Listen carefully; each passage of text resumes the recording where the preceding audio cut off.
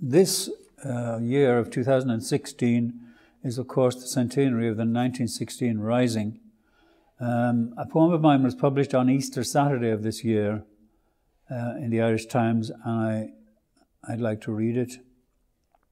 And it concerns, in a way, uh, the intersection of private and public memory. Uh, it's set in Collins Barracks, uh, in the National Museum, that is Collins Barracks, where I had gone to see the, the flag of the Rising, not the tricolour, but the, the Irish Republic flag, which was made in a hurry at, at uh, Liberty Hall uh, just before the Rising.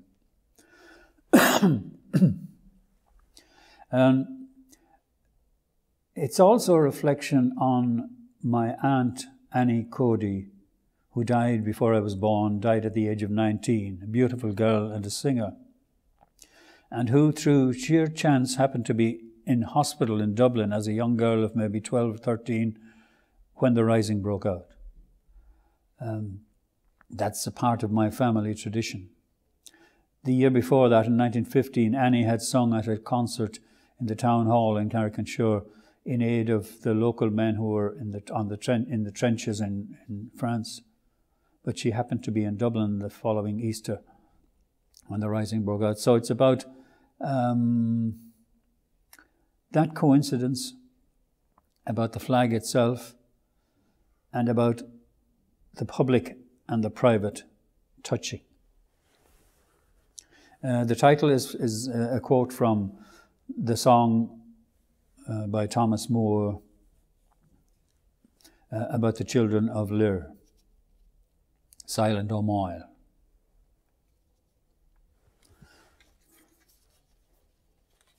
A sweet bell ringing at the National Museum, Collins Barracks.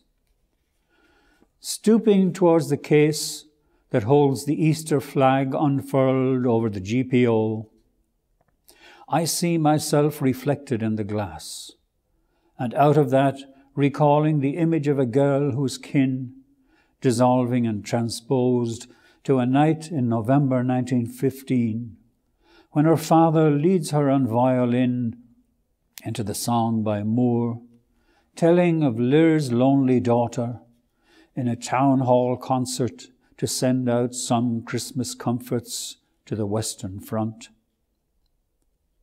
a frail girl singing in a minor key, Annie Coady sends her song into the dark above the gathered heads and hearts of a town beside the shore.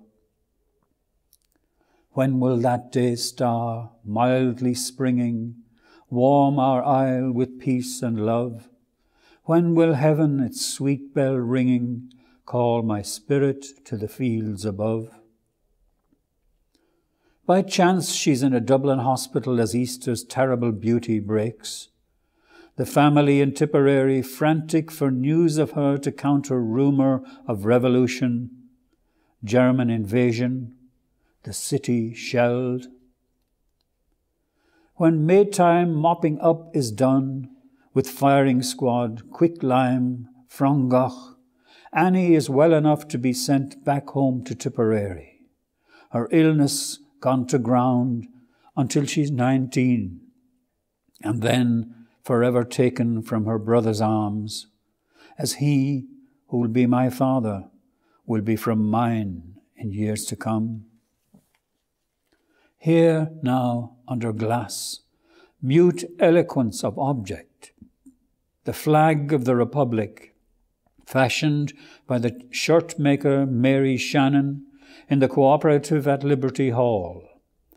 On Connolly's orders, hoisted above the GPO, as Pearse proclaimed the words below. Taken by the British when Easter week seemed done, then, after fifty years, returned from the Imperial War Museum. Part torn, but larger than imagined, and of a stronger weave.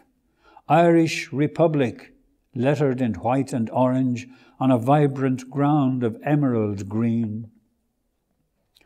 A photograph beside it here has a score of British officers at ease in swagger sticks and arrogance of empire that outflanks the setting sun.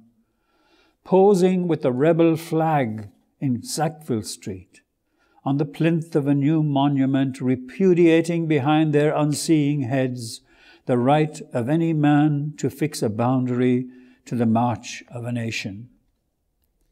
There, at Parnell's feet of bronze, imperial victors of the hour, frozen by the lens in black and white a century ago, look towards the unformed future, brandishing insurgent green in mock ritual tableau, more prescient of what's to come than they could know. I am of that future in the here and now that finds me gazing through the glass, and all it gathers in around the woven cloth on show. Those dead imperial soldiers posing live with Mary Shannon's flag that survived all. The haunting cadence of Moore's song that tells of swan and star, transfiguration, love, and my father's sister, Annie, long gone, although still young and smiling from the frame by the doorway in our hall. A little life unsung, collateral to the General Post Office, the River Suir, the Somme.